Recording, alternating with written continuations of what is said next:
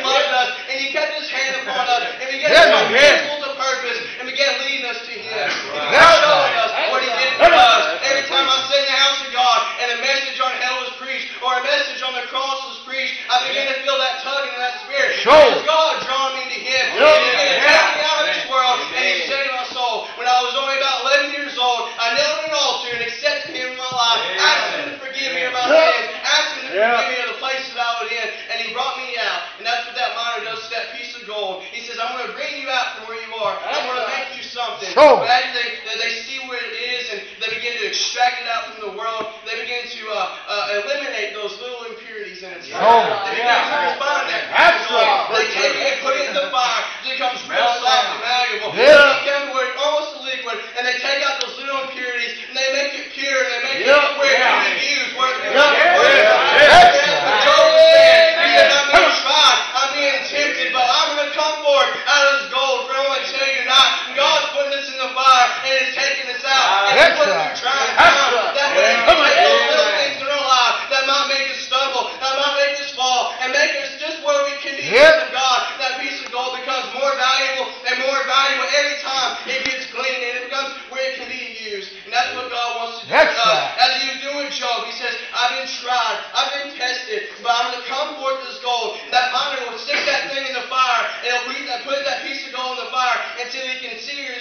reflection in that gold. And so you're just Peter as you can see the reflection right. of himself in that gold. And that's what God wants to do to us tonight, this morning. He wants to put us in the fire and take away the so, yeah, that's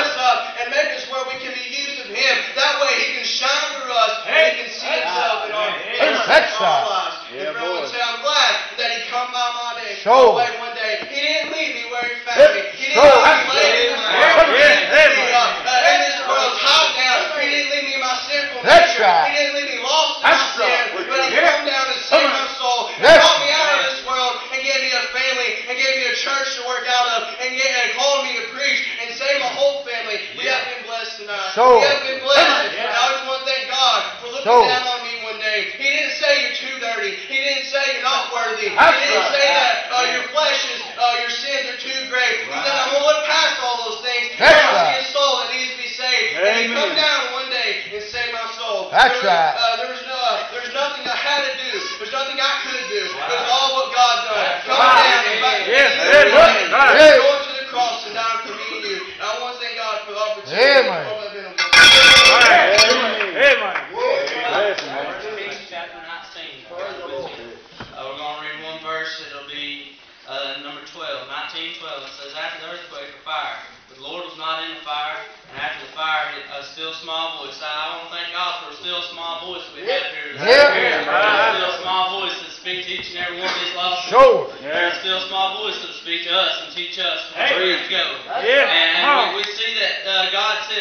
earthquake, a wind, and a fire. And, and I, I picture that as the world that's around us, the world that, that, that'll attack you, a world that a world that'll destroy you, a world that'll try and mess you up For the devil. Right, bless the devil send trials and tribulations. Oh, yeah, try yeah, mess you up. But God said, I'm in a still small voice. Yeah. You ain't gotta listen to the world, you ain't gotta listen to what everybody else says, you ain't gotta listen to what the devil says. No. God said, listen to what I say. Yeah. He said, follow after me, and I God that I got a comforter that can teach me which way to go. Yeah. Yeah. The Bible says the grace that has appeared to all men and bringeth salvation. It, it, it, sure.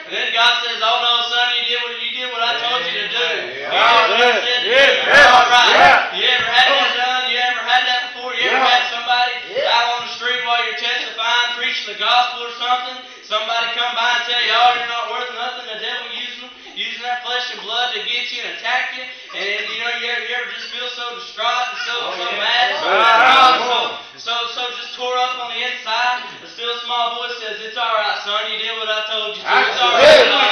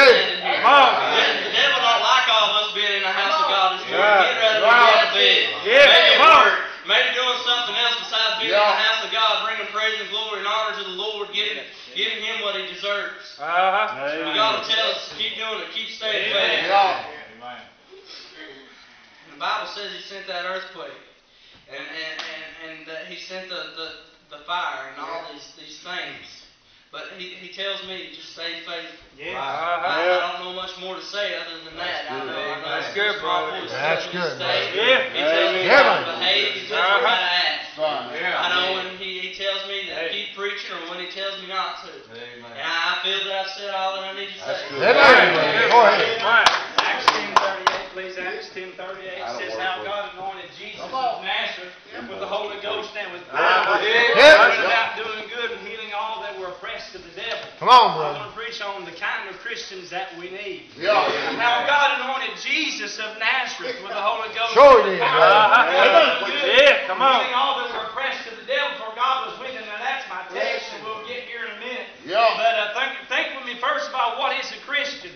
Uh, I got a threefold definition. First of all, a Christian's a believer, one who believes in the Lord Jesus. Yeah. Acts 26 and the disciples were called Christians first to Antioch. By a believer, I mean someone who's received Jesus into their life. But then also a Christian's a follower of the Lord Jesus, Yeah. somebody Yeah. who reveres Christ Yeah. as their Lord. Yes, Acts sir. 26 Yes, yes. Paul, uh, God raised him Come on, from the brother. dead, Quit named telling. him as both Lord and Christ. Yeah, yeah. Somebody who reveres him, Yeah. reverences him, Come on. respects him, Yes. submits to the Yes, lordship sir. of God. Yeah. When God says no, he does it. When God says do, he does. And also, thirdly, Amen. a Christian's a manifestation of the Lord Jesus Yeah. Christ. Yes, sir. A, a true Christian now, one might be saved, but you're not really being a true Come on. Christian. Yes. Manifestation, by that I mean that we reveal Christ in Yes, our sir. life. Come on. Now, we reveal Christ in the sense of this, that the Holy Ghost reproduces Jesus in Good. you and me. Good. Now, Yes, sir. now that's where the, that third aspect of a Christian is what I want to deal with mostly now in my message.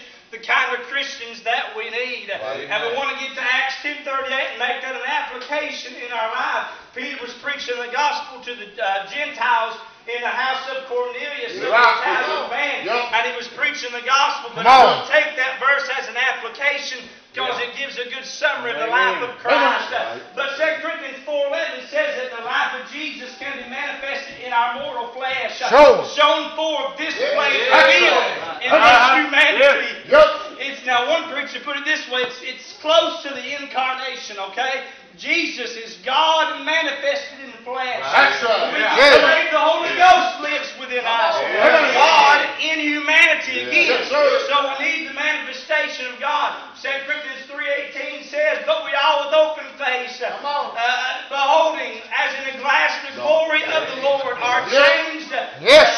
by, into the same image from glory to glory Amen. as by the Spirit of So, God. yes. The glory of God, if you look in Hebrews 1 3, Jesus is called the brightness of His glory. Yeah. If you look That's in right. Revelation, Amen. uh, Right. Revelation Come on. 22, talks about the city of God. Brother Giddens, it has the glory of Yes. God.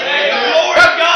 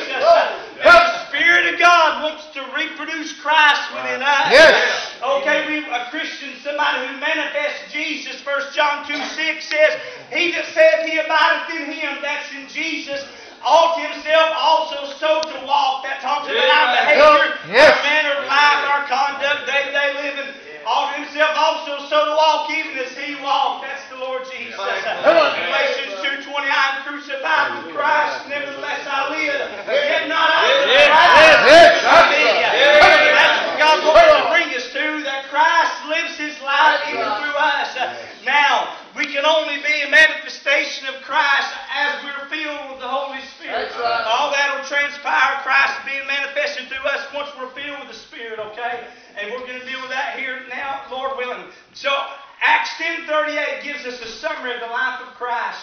I'm going to preach on the kind of Christians that we need uh, in the aspect of being a manifestation of Jesus, uh, changed into the image of Christ right. by the Holy Ghost.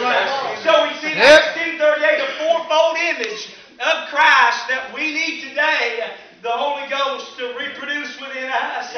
Acts 10.38, how God anointed Jesus of Nazareth the Holy Ghost and with power now. First of all, we need kind of Christians that we need are those that are available to the Holy Amen. Spirit of God. Right. We see the Lord Jesus, John 3 34, the Bible says that God giveth not the Spirit by measure Amen. or in a limited portion to us, just only a degree or just a little bit. No, God give not the Holy Ghost to Jesus. He gave him not in a measure, but without measure. Right. Now, Jesus also gave himself without measure unto right. the Holy Ghost. Right. I got saved, Ephesians healed by the Holy Spirit in Jesus Christ. Right. 6.19 says that our body is the temple of the Holy Ghost, Within right. you, which you have of God, and you're not your own. Yep. God gave me the Holy Ghost without measure. Sure.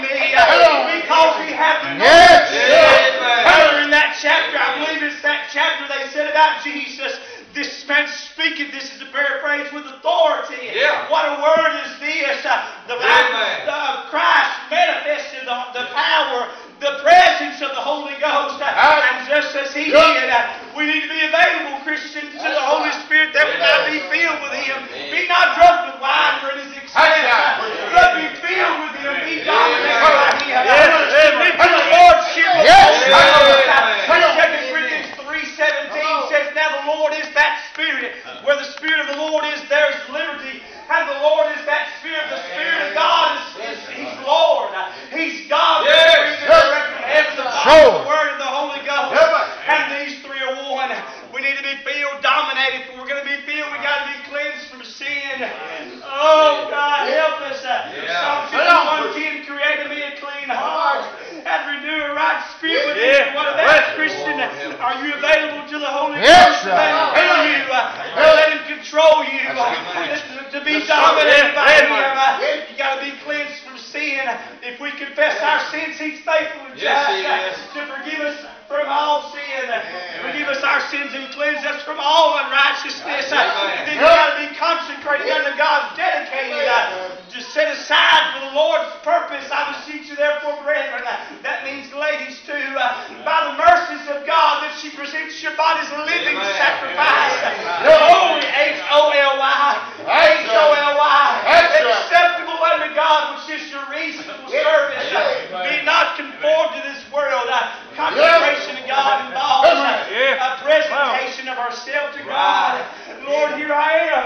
just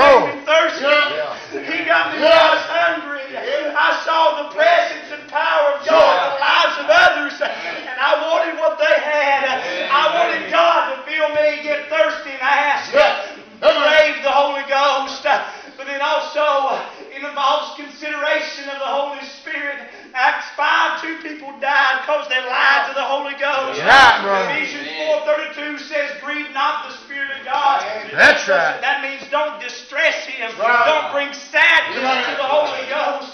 Don't bring sorrow into His, into his heart. And then in 1 Thessalonians 5.19, quench not the Spirit. That means don't extinguish Him. That's right. Don't put out His, Right. his influence in your life. Yeah. Think about a fire, you extinguish a fire, you smother it, you put it out. Don't hold him back. Don't resist him. Consider the Holy Spirit just like husbands, we consider our wives in things that we do, places we go, the people we associate with, the things we buy. I Yes, consider my wife. I Yes, think brother. about her. I Amen. consider the Holy Ghost. He's always with us. Think about it this way. If I say that, or if I go over here to this place, uh, if I associate with him or with her, I'm considering the Spirit. What's the Holy Ghost think? Uh, What will that do to God? His Good. It involves confidence. When we're going to be filled, we've got to be confident. That's when you're, when you're cleansed from sin, consecrated, when you're craving, and when you when you're um, considering the Holy Ghost. Be confident. God will fill you. And all things, Matthew 21, Yeah. 22, whatsoever you shall ask in prayer, believe and you shall receive. Jesus said, ask and you shall receive. Now Luke 10, he, I know this is a little bit different here than what I'm talking about. We don't have to ask for the Holy Spirit as a child of God. We have the Holy Ghost. But Jesus said, shall not thy heavenly, your heavenly Father give the Holy Spirit to them that ask him. In the book of Acts, we see those, they obeyed the Lord and they had the presence and power of the Spirit of God their life. Uh, Christians available to be filled with the Spirit. Then once we're filled, we can be led by Him. we can walk in Him. That's living daily in the fullness of the Holy Ghost. Uh-huh. And then we bear uh-huh. His fruit. For the fruit, but the fruit of the Spirit is love, joy, peace, long suffering, gentleness, goodness, faith, meekness, temperance. Against such there is no law. The Spirit of the Spirit is the character and life of Jesus, Amen. reproduced within the believer by the Amen. Holy Ghost. That us James into the image of Christ. But secondly, the kind of Christians we need are those uh, that are not only available to the Holy Spirit, but then the next verse, next part of the verse says that Jesus went about doing good. Yeah. He went about doing good. That phrase went about means his travels. As he walked, he went about doing good. That's right. Galatians 6:10, as we therefore have opportunity, let us do good unto all men. Not those that do good to you. That's right, preacher. Hey, that's right. Pray for them which despise That's you. good. That's right. This is hard, but we got to love their enemies, bless them which persecute you. Amen. Do good unto them, I think that, that hate you. Do good unto all men, active Christians that are active Come on. in Christian service. Right. In, in, in our, uh, Amen, preacher. uh, yeah, yeah. Christian service, going about doing good, helping others, just like Jesus. But thirdly, we see that the Bible says that he went forth healing. He went about doing good and healing all that were oppressed of the devil. Mark chapter number 5, we learn about a man, we call him the maniac of Gadara. Right. And the Bible says in Mark 5 5 that he was always, listen to the emphasis in this verse, always, night and day, in the tombs and in the mountains, crying and Yeah. cutting himself with stones. Luke 8 tells us that he had devils a long time. Yes, sir.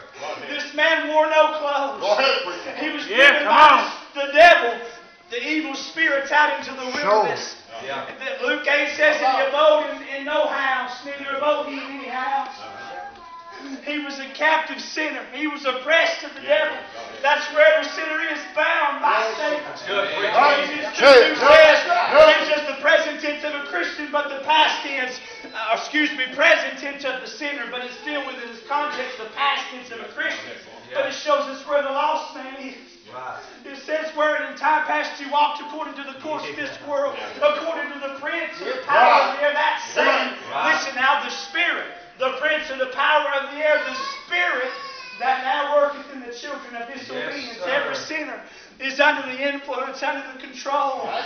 under the driving aspect and, and the moving about of the evil spirit. That's Satan. right. He's a spirit that now works. They're bound in sin and bound by Satan. That's right. Proverbs 5.21 or no 5.22 says his own iniquity shall take the wicked himself and he shall be holden with the cords of his Amen. sins. Amen. He'll be bound, he'll be chained, he'll be tied up with the cords.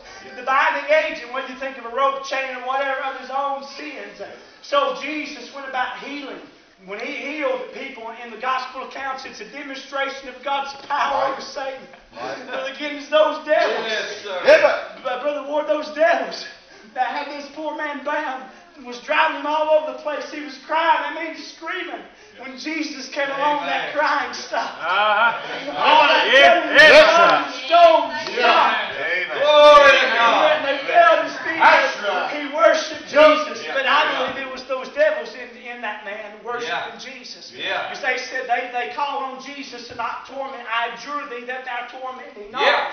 There seemed to be one devil that was the chief speaker for all of them, but he had many devils. Right. But they bowed to the feet of Jesus, and Jesus rebuked them, cast them out. But also when Jesus healed people, it was an illustration of God's power to save the sinner. And I believe everybody that Jesus healed was saved, forgiven of their sins. Amen. In some instances, it, it says that. Sometimes it doesn't. But they were always changed. And if any man be in Christ, he is a new creature. So, thirdly, this aspect about Jesus healing all that were oppressed of the devil, he was healing and saving sinners. We need Christians that'll aid sinners. A-I-D. Yeah. I can't heal them. I can't save them. Uh-huh. I can tell them about one. Amen. So in the gospel accounts, when you see Christ healing, we find everybody that came in contact with Jesus. Then you work with electricity, right? Conduits.